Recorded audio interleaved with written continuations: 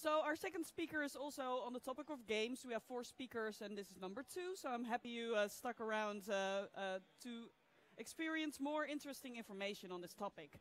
Um, well, sometimes job titles these days can be really cool. You can be a chief happiness officer, or you can be a growth hacker, a ninja. You see a lot of that out there.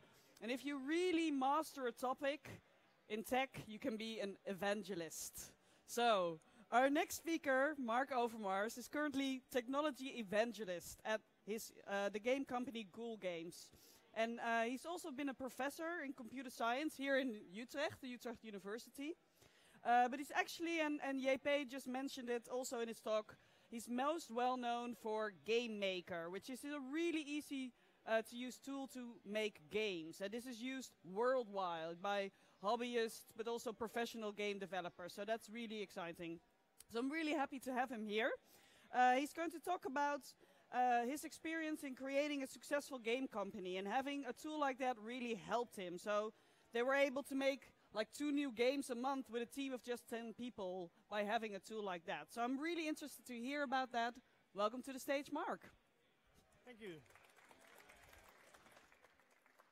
About this job title, actually, I didn't have a job title. And then I was asked to give this presentation, I had to fill in the job title.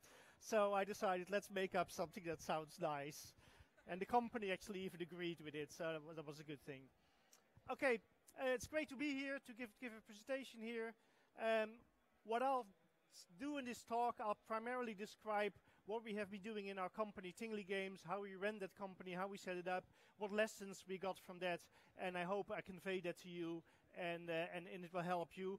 Actually, you'll see that quite a number of the things I'll mention relate a lot to the things JP was saying before, uh, but probably a bit more from our perspective in the way we did in our company with a bit more uh, examples.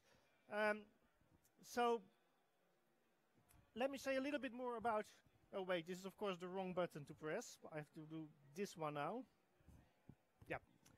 Say a little bit more what I am, how I got in this crazy situation as running a game company. Because as JP said, you had to be young to start a game company. I was pretty old when I started my game company. I guess I was the oldest guy in the Netherlands that ever started a game company. Um, so, so I had a bit of a weird, weird uh, history there. So I started off working at Utrecht University. Um, that was my, my, my, my prime work up till like three, four years ago. Uh, I did a lot of research there, started off with very theoretical work on algorithms, went towards other fields, doing more graphics, towards more robotics, and in the end really got into the game development part, the game technology part. Actually, my prime research area was crowd simulation. If you go to the stand of Utrecht, that's somewhere over there, you actually see the work done by my followers at, the at, at Utrecht University, where they have some very nice demos of how you can simulate huge crowds of people. And on one hand, you can use that in, in games, but on the other hand, they use that for things like evacuation plans and, and stuff like that for, for companies. So it's really interesting to look at. So that was, was one part of me. It's actually hard because now I cannot really see what's on my next slide. Um, there's nothing on my next slide. There we are. Okay, so the second thing that I did, and that's something probably people know me a lot more about, is I can do this as well. Huh? Is Game Maker. Uh, Game Maker is, is who here has heard of Game Maker? Good. Who has worked with Game Maker? Great. Um, so Game Maker has a weird history, and probably good to say a little bit about it. I started this in about the year 2000, slightly before that. And actually, I did that because I wanted my children to actually learn a bit how to program in a nice way. So I wrote this program basically for them. And it's no secret that actually my kids never used it because they really didn't like it. Um, but it, it became a hobby thing and it started being used by more and more people around the world and people were it was growing and growing and at some moment people were making donations and things and about five years later i had a sudden feeling like gee i'm running a company uh, and I realized that, oh, I was having a company, I was getting money, I was paying bills, but I never registered my company. I wasn't paying any VAT or anything. I wasn't doing any of the things that I was supposed to do when running a company. So I really very quickly then had to start this all up in a formal way. I did follow the advice, make a good legal foundation, even though I was the only owner. So there wasn't much chance of a fight with somebody else. But, but still, I, I decided to set it up in a careful way. Then a couple of years later, it became bigger and bigger. So basically, Yo-Yo Games, a British company, took over, but I was still an owner of Yo-Yo Games, and I was still involved a lot in that. And actually, last year, Yo-Yo Games was bought by a company called Playtech, who is running the whole thing now. And actually, since that moment, I have nothing to do with it anymore. So I'm not responsible anymore for anything that, that's happening with it at the moment. So I take credit for all the good stuff, but not, not for the bad stuff since then. So actually, what many people don't know, GameMaker is the most used 2D game development tool in the world. Probably the most used game development tool in the world at all. Uh, everybody thinks that that's Unity, but actually it's not. Only it's a quite different audience that uses GameMaker in general. But uh, JP already mentioned Vlambeer. There are quite a lot of big companies, well-known companies, many indie companies, but also non-indie companies that use GameMaker and produce titles that bring in millions of dollars. So it's definitely something that, that's used a lot in that market as well. But for me, that part is sort of gone at the moment. So next thing is that I really sort of started becoming a game entrepreneur. It started with my game maker company, which became Yo-Yo Games. I got involved in a company called Clever, which is doing applied gaming, serious games here in Utrecht. I founded Tingly Games that I'll talk a lot, lot more about. Tingly Games is now part of Cool Games that I'm one of the owners of because of this meeting. So I've been involved in, in game companies in many ways. I've been involved as a developer. I've been involved as an investor. I've been involved as managers and advisors. So I've seen all the different roles. So I think I can, can tell you quite a lot of things. And if you have further questions after this talk, please feel free to come to me and I, I can, can try to pass that information on to you. It's really hard to work with two systems at the same moment. Because I now have to change that one, but to see it on that one, I have to change that one as well. Okay, so what's Tingly Games? Or maybe I should say what was Tingly Games, because actually Tingly Games doesn't exist anymore since three months. So it was a company founded in about three and a half years ago by Art Bonewald and me. Art Bonewald was a well-known studio head, has worked actually also at Avilex as a start, uh, but worked also with a lot of casual games companies, worked at uh, bigger companies, PlayLogic, things like that. And so he was very experienced in running a game studio. Uh, and I came in more from, from the tech side. He was he was much more the, the creative director type, but al also the manager type. And I was more the tech type, but in some sense also the manager type, because I, I ran a whole department at the university at some moments. And our focus was to do casual games. And actually, over the past three years, we did some 40 casual games.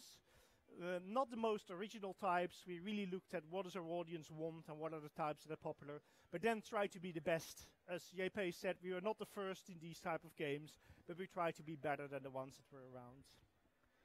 From the first moment on, we concentrated on HTML5 technology. We wanted everything to run on the web, web-based games, game portals, but also mobile game portals, and HTML5 was just the technology for that.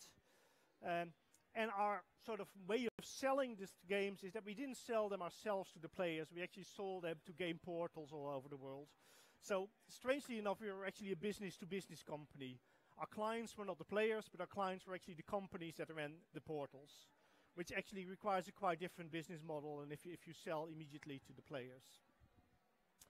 And three months ago, we merged with Booster Media into a company that's now called Cool Games. So we're now about 50 people. So we're definitely one of the bigger companies, uh, game companies in the Netherlands.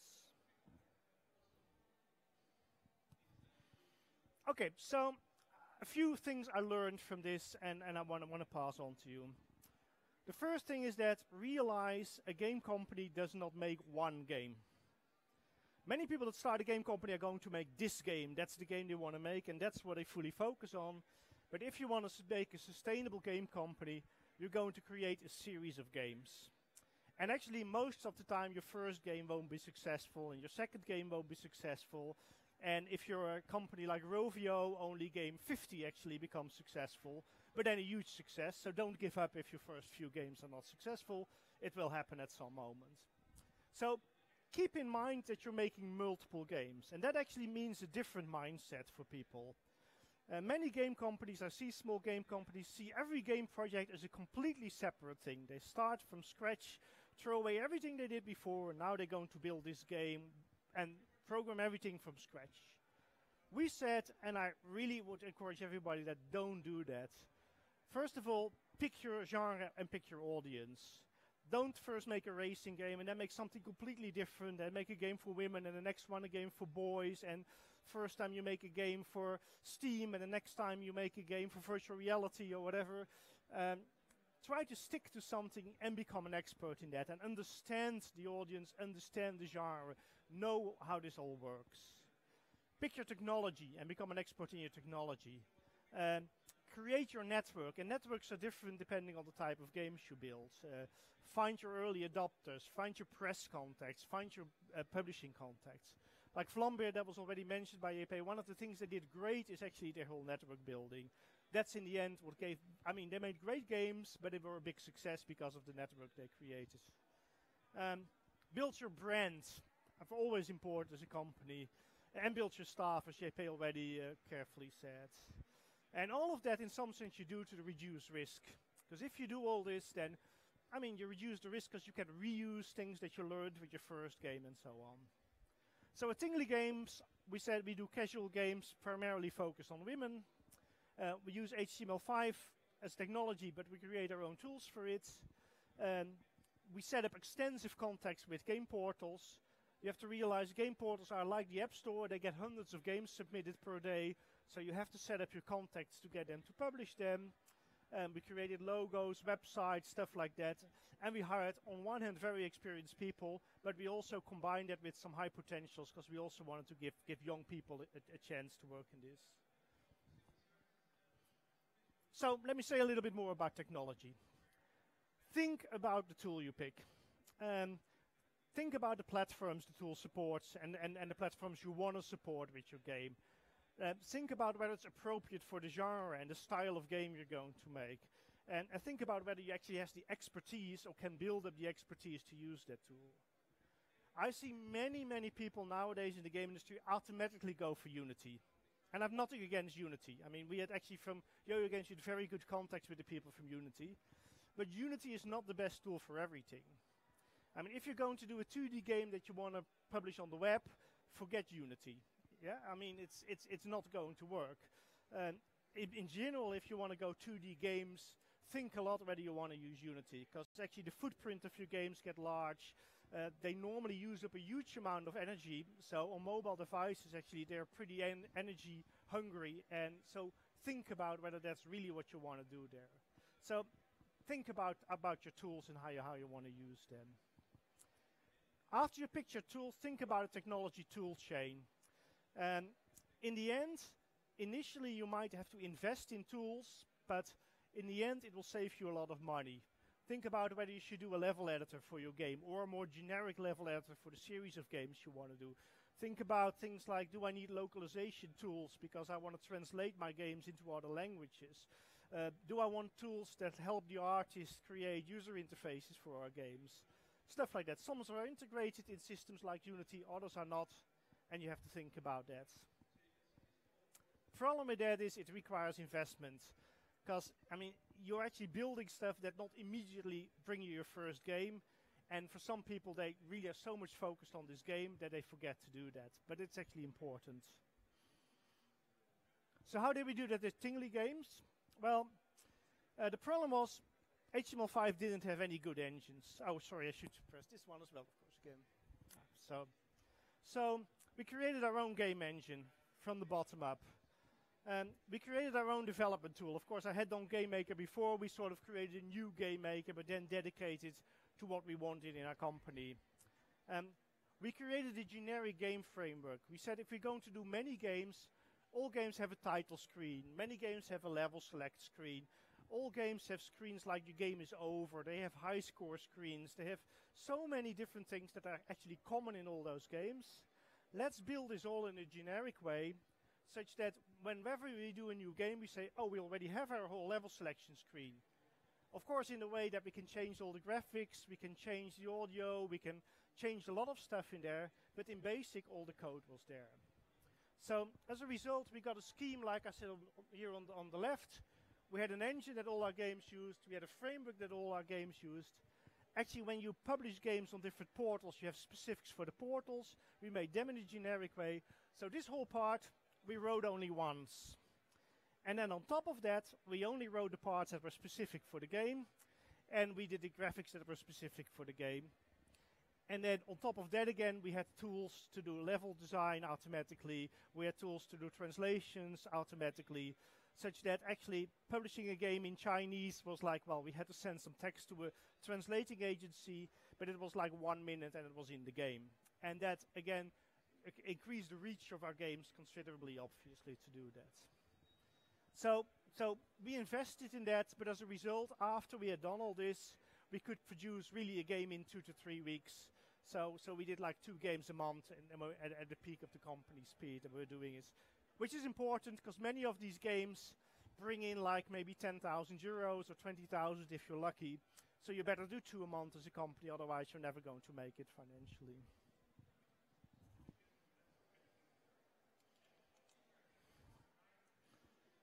Okay, JP already talked about team, and I want to stress that again.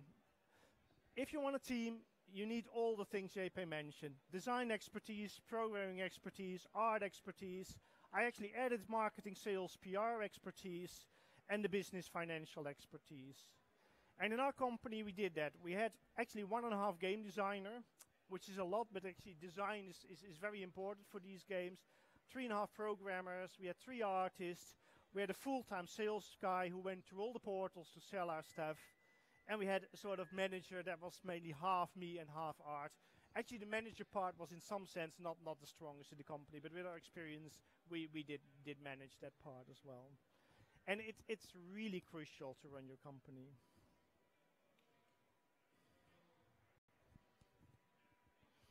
Okay, another thing I want to tell you, and it's I think this a very important part is Whenever you start a game or a game company, you make assumptions.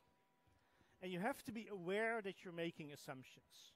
For example, you assume that this game genre people will like. Or that this visual style you're going to use for your game, your audience is actually going to like that style. Um, and you assume that your, the, the, press will love your game or that the publishers will like your game. Um, you assume that your level design will be appropriate for the target audience, not too hard and not too easy. You assume that your technology is actually capable of creating your game and that you can do that all within time and within budget. So these are all assumptions you make when you create a game. And this is true for any company, but with games it's actually even worse because games are very risky undertakings. Uh, the chance that your assumptions are wrong is very big. And you have to be aware of this. And what's extremely important is that very early on in your game project, you start verifying those assumptions. And many people do not. They spend half a year on creating a game or a year and then they publish it and they hope people will like it. And that's stupid, to be honest. you can verify many of your assumptions. Like, to verify visual style, you don't have to make a game. You can make a little movie and send it out, or you can make some some drawings and, and, and show it to people. And there are websites that can actually help you, where you can people just compare things, and you can say, okay, this or that is I like this more, or I like that more, and things like that. Um, you can verify your technology by doing some first some prototypes in the technology and see whether they can do it, um, and and so on and so on. So so verify things. And adapt what you're doing based on the outcome. If it turns out that people don't like your visual style, change it early on in your game. I mean, that, that, that way the chance of success is a lot harder. And if it really doesn't work, if you make your changes and it doesn't get where you want it, stop and do something else. It's very hard for people but you have to make what's sometimes called a pivot in your company. You have to start changing the game you make, changing the way you do things, changing your technology, do a big step. But do it early on, because then you waste as little money as possible. Uh, and I really want to point people out to this book if you haven't seen it before. Uh, it's a great book to read. It's extremely relevant if you're working in the game industry, because this is all about this whole process. The whole process of do small steps, verify assumptions, learn. Everything you do is to learn and change your plan and make pivots whenever necessary. Um, it describes greatly how even big companies like Dropbox and things like that use this type of approach Um, and actually, because of that, they could become uh, successful companies. So, so I really recommend you to read this book. In, in general, you see a trend in, in, in the whole gaming world is what's called data-driven game design, where people more and more make the whole game design, the whole level design, everything based on data that they gather on, on, on small test groups of users. And I really recommend that you do that. Test very early on with small groups, with take the right groups, but but with small groups, and ver verify all your assumptions and all the things you're doing. Okay, um, a company needs money. And of course, if you're young and you're just a student, that sounds like maybe not the most important thing, but at some moment it will become important. And unfortunately, I've seen many, many companies fail because they sort of ran out of money pretty soon. Or what you see quite a lot of companies do is they mm, do things like things that uh, orders they get from other other companies. They make something for other companies, and then they say, "Oh," and then the rest of the time we're going to do our own project that we really want to do. And in the end, this own project never gets finished because they get stuck in doing this this work for hire for others. So think about funding. now, if you talk about funding, clearly your first funding is your own time and your own money that you spend put in it, and unfortunately, you'll have to do that. Um, nowadays, a lot of people talk about crowdfunding as a possible way of doing it, but that's for only very few startups that'll work. I mean, crowdfunding basically only works if you have a great network. So you should first really work on your network before you can do anything related to crowdfunding. Of course, there are always exceptions, but in general, don't trust that crowdfunding is going to work. Chances are very small. In the past, there was always the possibility to get funding from your publisher. So people would go with demos to all sorts of big shows, to show them to all sorts of publishers, and then hope they would fund the rest of the game. Unfortunately, again, sorry, except for exceptions, this doesn't work this way anymore. Publishers sometimes are willing to tell you they will publish the game if it's ready, but they normally don't uh, pay for the development anymore nowadays, so you have to do it yourself. And then, of course, you can think about real funding. Um, I've talked to quite a lot of, as you know, I have been an investor in, in some companies. I've talked to quite a lot of game companies, and one of the things I notice in most game companies that if they look for funding, they look for project funding. They say, oh, I want to make this game. Can you fund the production of this game? I can tell you hardly any investor would ever do that. they might invest in your company because they like you, they think the people are great, but they won't invest in this particular project. Now, of course, if they invest in your company, you lose part of your shares in your company, so you might not want that. Sorry. But it's, it's probably the only way to actually get that type of funding. Sorry. There is some water here.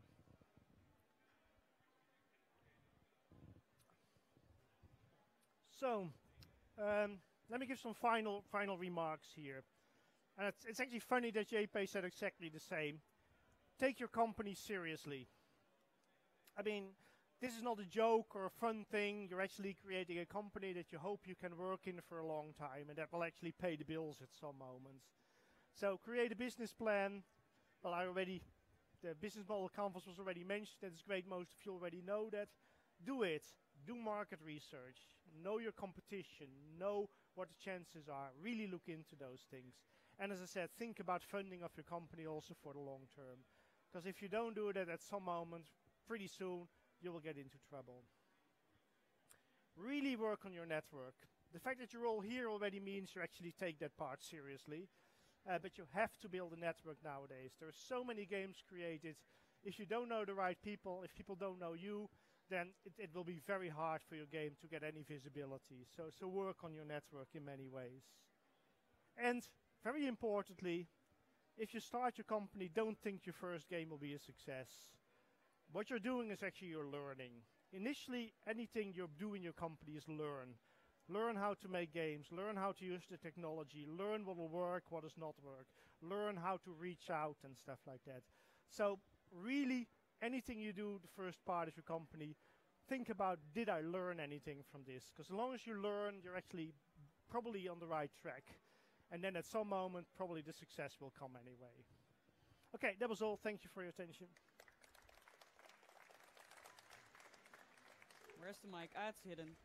Thank you very much. Um, one question about that trying and failing, and uh, maybe even the 50th will be the success one.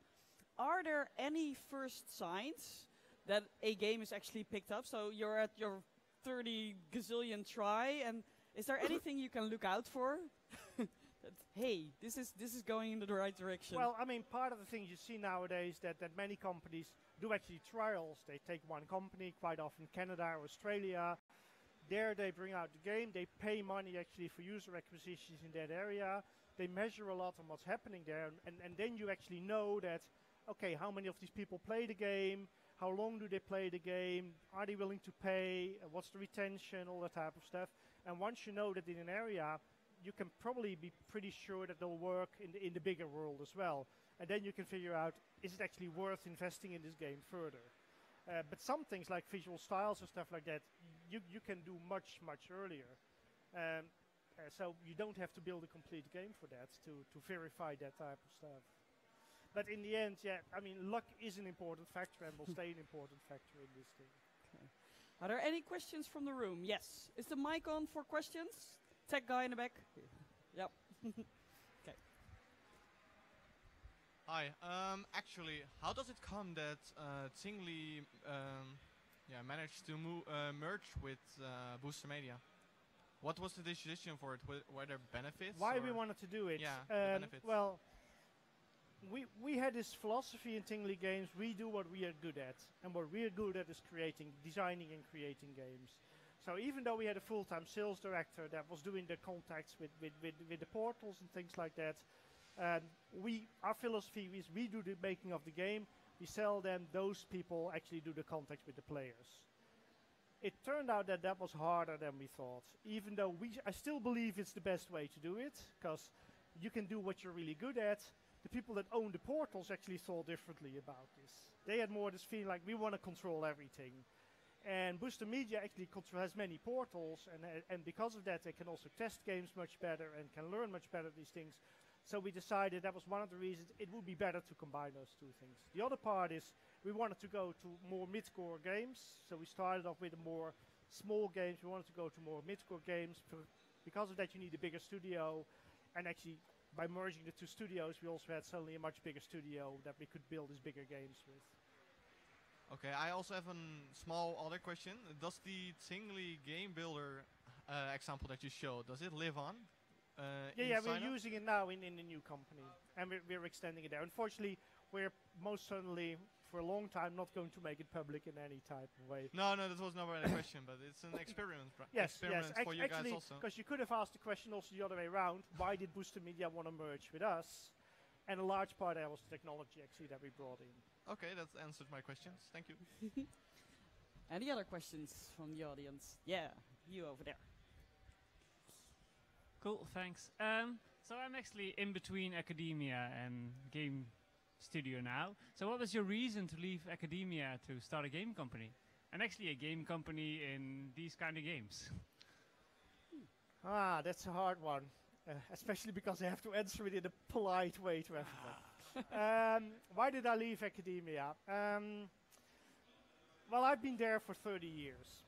Um, and I had sort of seen it all. I've been in, in all positions, in, in, in all functions there.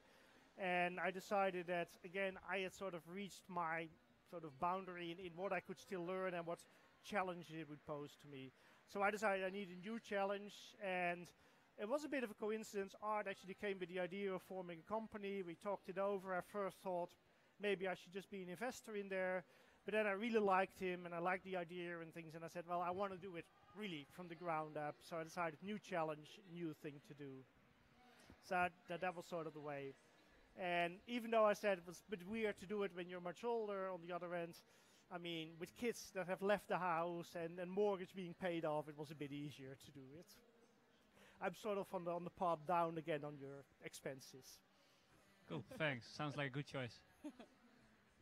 Any other questions from the audience? Can I see fingers?